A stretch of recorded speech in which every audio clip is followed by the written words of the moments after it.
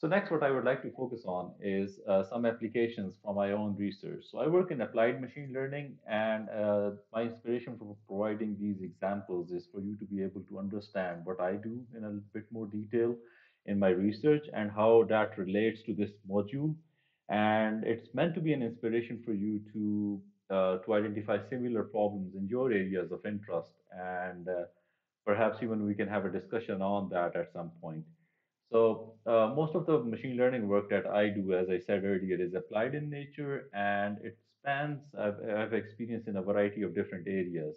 So just to give, give an example of something that I developed or I was part of the team that developed, uh, and it has been used to used in practice as well, is hurricane intensity prediction.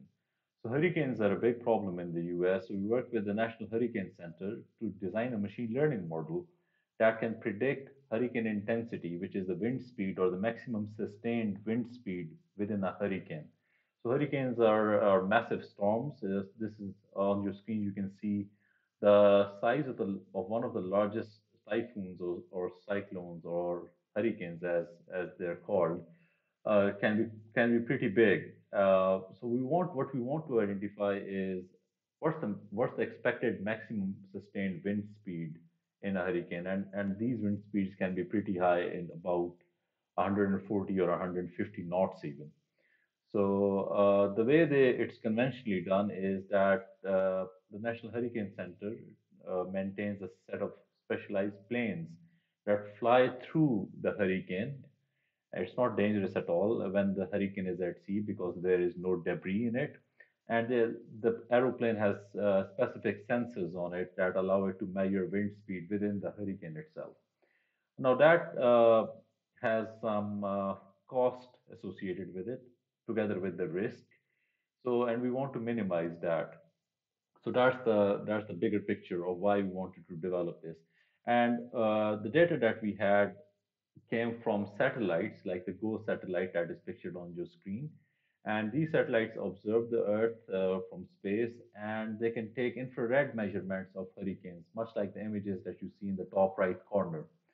So, what we wanted to do is, based on historical data that had been collected through these hurricane hunter planes that had flown through the hurricane and collected uh, valuable data points of hurricane intensity, and we wanted to see whether we could predict uh, the hurricane intensity based on infrared images that had been captured by satellite. So what we did is uh, developed a machine learning model, much like what we are going to discuss in this module. And uh, first, it was a conventional machine learning model, and then we designed uh, a specialized deep learning model called Deep Fury uh, as well for this purpose that is able to predict with sufficient accuracy. It's currently the state of the art model for this purpose and it can identify it can it can predict the speed in knots or the maximum wind speed in knots in, in a given hurricane. So it, it was used to predict uh, to generate predictions for hurricanes that it had never seen before and was able to do a pretty good job on that as well. So that's something uh, that i'd worked on. If you want if you're interested in exploring this further you can find the links for this research on my web page as well as on your screen at the bottom Another thing is, is, is completely different. One thing that one of my students worked on is the development of, of a journal recommendation system. So when we are publishing papers, uh, students uh, or researchers, they want to feel or they want to identify what journal would be the most appropriate for their research. So we designed a system to do that. We designed a journal recommendation system in which you paste the abstract and the title of your paper and then it generates uh, what's the most appropriate journal for that. So that's something uh, for which the manuscript is under preparation, but uh, uh you can find a link to this on my on my web web server. So so these two applications are uh, a bit atypical. This is not something that I do in routine. Most of my research is uh, focused on bioinformatics uh, the applications of machine learning in bioinformatics and in computational pathology. And on your screen, you see a quote by Donald Knuth, uh, which says, I can't be as confident about computer science as I can be about biology. Biology easily has 500 years of exciting problems to work on. It's at that level. And some of those problem, problems, actually, a lot of those problems require computational solutions. So that's where I work on at the interface of biology, medicine, and machine learning. So that's where most of my research is. Just to give some specific examples, uh, this is again, this is not my research, but uh, machine learning has been used recently in the analysis of data from COVID-19 patients in uh, predicting whether a particular patient, what are the odds of survival for a given patient based on their X-rays. It has been used to identify based on cuff patterns and saliva patterns uh, how a particular whether a particular patient is COVID positive or not. Similarly, there has been a test designed at Warwick that that uses deep learning models to identify uh, identify whether someone is is positive positive or negative using image processing techniques. Similarly, there is a lot of bioinformatics work that that analyzes how protein protein interactions affect COVID-19 uh, uh, infections and so on. So it so machine learning has played a good role, a good uh, a role at a good level in the recent pandemic. And I welcome you to explore papers on this in your own time and try to gain an understanding of how machine learning can be applied in, in similar areas or in related areas. Most of my research, I started off working on um, machine learning for ECG classification. On your screen, you can see ECGs, uh, electrocardiograms from different patients. And what we wanted to do is to identify whether their heart rhythm was normal or not normal, something that's uh, readily available these days in an Apple Watch. I, have been told I have not used that myself, but I think it has something that analyzes cardiac rhythms as well. So this is something that I started off with, and what we were given is uh, a data set of patients together with their electrocardiograms, uh, and we wanted to develop a machine learning model so that it could predict whether whether whether uh, an electrocardiogram is normal or abnormal, whether it has normal rhythm or abnormal rhythm. So that's what we worked on. It was it was a it was a pretty good uh, system for that. I've also worked on ultrasound image analysis. What you see on your screen is an ultrasound of a human liver that has a particular disease called the fatty liver disorder.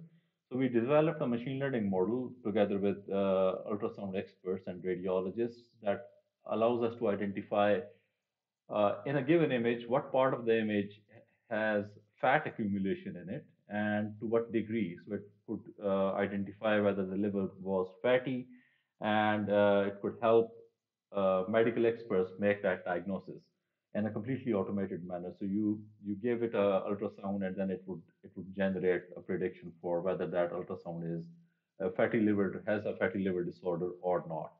So that's another application of machine learning. For my PhD research, what I worked on is uh, uh, protein-protein interaction analysis. Now, what that means, I'll ask you to pay attention to my hands rather than the screen. Let's say, so every cell in our body, as I've uh, started off in this lecture, has DNA. However, that DNA leads to the generation of proteins like insulin and like uh, like hemoglobin that actually go ahead and perform different functions in your body. And biologists are interested in how these proteins interact with one another, much like workers in a, in a factory. If you think of the human body as a factory, then you would then proteins would be the workers in it. They do everything in your body. They give structure to your body. They perform a lot of different functions. So, for example, hemoglobin is a protein that is responsible for the transfer of oxygen from one place to another. So what they are, what biologists are interested in is identifying what part of one protein, let's say if this is one protein, and another protein, how do these two parts fit together? So specialized cameras uh, like elect, like uh, X-ray, uh, X-ray based structure determination, as well as electron microscopy is used to determine protein structures. But what we want to do is to identify using machine learning how two different proteins fit together, much like two Lego pieces. So that's what I worked on, and uh, we developed some machine learning techniques, which are mentioned over here for this purpose.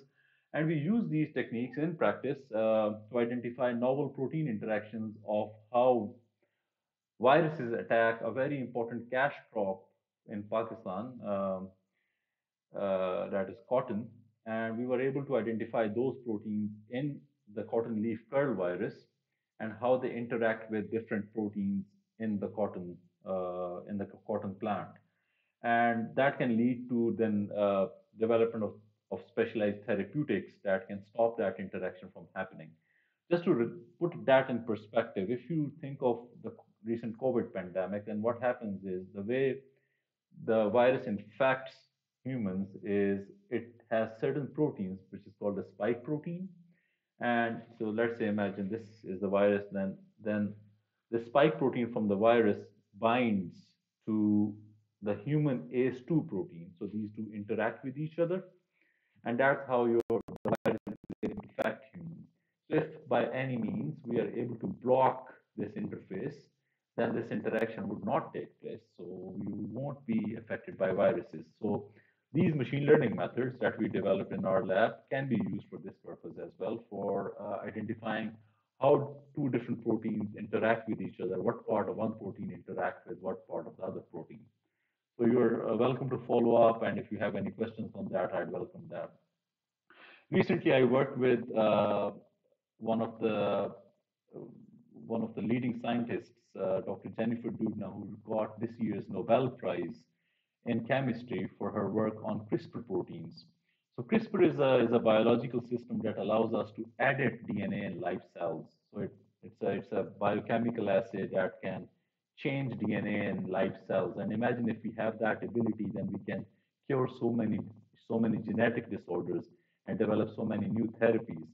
However, one of the problems with CRISPR is that it can also edit a part of the DNA for which it is not in, intended. So it can have off-target effects.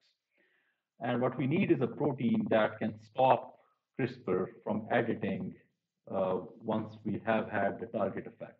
So once we have had CRISPR to edit the part of the DNA that we want to edit, we want to then clump CRISPR or stop CRISPR. So there's uh, what we developed is a machine learning model uh, that allows us to identify proteins that can go ahead and stop CRISPR. So if you want to learn about that further or about CRISPR, which is a really great upcoming technology in biology, I welcome you to explore this book that is on your screen. It's written by Jennifer Doudna. It's called A Crack in Creation. It's, it's a pretty simple read, and I would really welcome you to, to read that. And if you're interested further in our work, you can follow our paper on, on the subject. But what we essentially did is uh, developed a machine learning model based on previous known proteins that are known to stop CRISPR. And that machine learning model is then able to generate predictions for a novel test protein. And I'll be posting a link to a, to a detailed talk on the subject that I gave elsewhere. So you're welcome to follow that as well. Uh, currently, I'm engaged at Warwick in the PathLake Consortium. So it stands for Pathology, Data Lake, Analytics, Knowledge, and Education which is uh, about a 15 million uh, dollar million pound grant. And the objective of this is to accelerate or to develop artificial intelligence for cancer diagnosis in pathology. Now, just to give some perspective, cancer is, is a prevalent disease. There's a lot of people who unfortunately are diagnosed with cancer, but the number of people that are diagnosed with cancer, that's, that's increasing because we are getting better at diagnosing cancer at an earlier stage. That means there is more and more impact of that on uh, on pathologists whose job it is to identify cancer. And the way they do that is, for example, if someone is suspected to have uh, cancer in their breast, then a part of the breast tissue is removed, and uh, that part of the breast tissue is then examined under a microscope.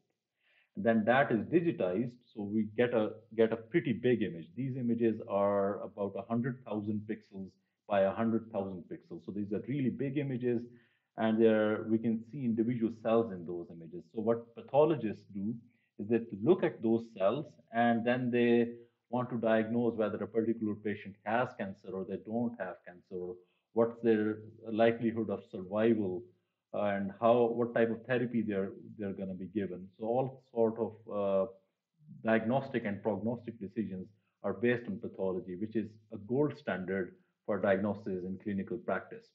And what we want to do is to use deep learning and to use machine learning to try to automate this process so that we can uh, help pathologists diagnose better and take better care of their cancer patients. So that's the goal of the PathLake project. Uh, and why we want to do it is, of course, there's a shortage of pathologists.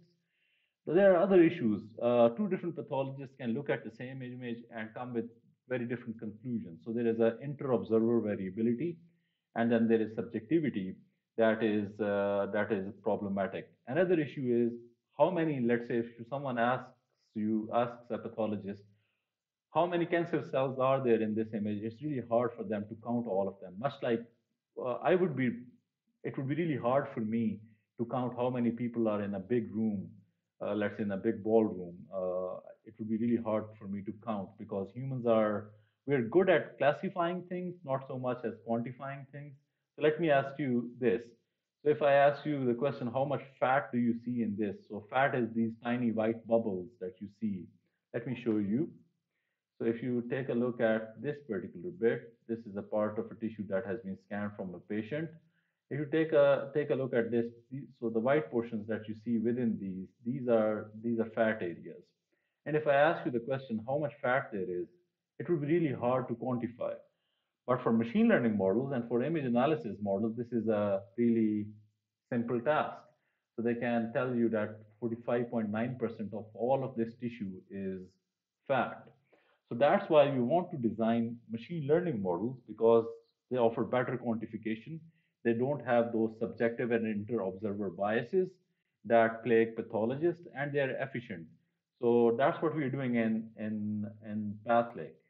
So just like I showed you some examples of uh, faces that of people that didn't exist, and those were generated by artificial intelligence systems on your screen, what you see is a, is a pathology image that doesn't exist in practice, but has been generated by one of my students using an AI algorithm that can generate images like this one. Uh, most of my research uh, that I work on in pathology images is based on graph neural networks. So we want to model these big images as graphs, much like this one, and then use specialized type of neural networks called graph neural networks to generate predictions for computational pathology. And if you're interested in learning more about this, please get in touch with me. I posted a list of projects uh, on uh, the on the recent project invitations, and there are some projects related to pathology in machine learning, and there are some projects related to uh, bioinformatics in machine learning. So if you're interested in that, please take a look and get in touch with me. Thank you.